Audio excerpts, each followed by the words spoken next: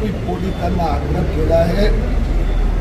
मस्जिद तोडताना जो दहा हजार लोकांचा मुस्लिम लोकांचा जमाव जो गोळा झाला त्यासाठी डिजिटल मार्केटिंग कंपनीची मदत देण्यात आली. दहा कोटीहून अधिक रुपये त्या डिजिटल मार्केटिंग कंपनीला देण्यात आले.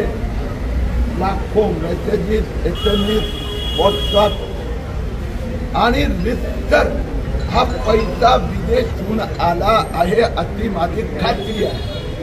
मुंबई पोलिसांनी अजूनपर्यंत या विषयाची चौकशी सुरू केली नाही आणि मी आज म्हणून त्यांना पुन्हा एकदा ते जे डिजिटल मार्केटिंगमध्ये जे व्हॉट्सअप सुभानी मस्जिदच्या नावाने फिरवण्यात आलं होतं त्याचा मागे कोण आहे याचा तपास करण्यासाठी आग्रह केला आहे. राहिली गोष्ट की वर्षा गायकवाड आणि उद्धव ठाकरेंना हे कागद त्यांच्याकडे आहे. इथं मस्जिद नाहीच आहे मस्जिद कधी बांधण्यात आली नाही. जे कागद आहे जे जमीन आहे त्यातना एक एका तुकड्याचा सतरा बाय आठ फूट त्याचा मालक आहे सय्यद सरदार अली खुर्शीद. दुसऱ्या अकरा बाय दहा हा दुसरा तुकडा आहे त्याचा मालिक आहे शेख इकबाल अहमद मेहबूब।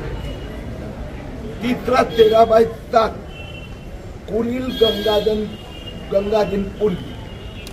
हे तीन जमिनीचे छोटे छोटे तुकडे आणि त्याला मेहबूब हे सुभानिया यांनी विकत घेतले.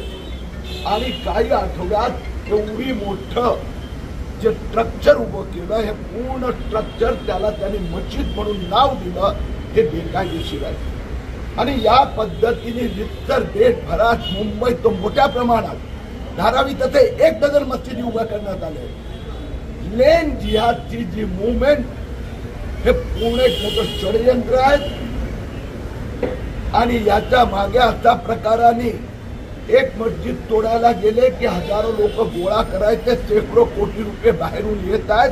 ही लेन जिहाद मुवमेंट. मुंबई पोलिसांनी त्यांना सामोरे जावं लागणार आहे.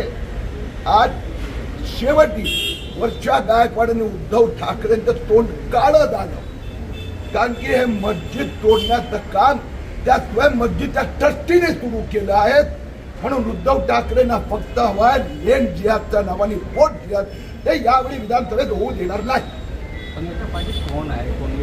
त्याच्यामागे राहुल गांधी काँग्रेसचे नेते आहेत.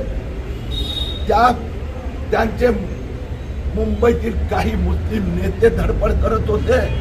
त्याच पद्धतीने उद्धव ठाकरे यांनी मस्जिद को डबल एफ एस आय देणे देणार. त्या पार्टीचे नेते आणि मुस्लिम समाजात जे फॉरेनहून मदत येते हे सगळं षडयंत्र त्यांचं आहे.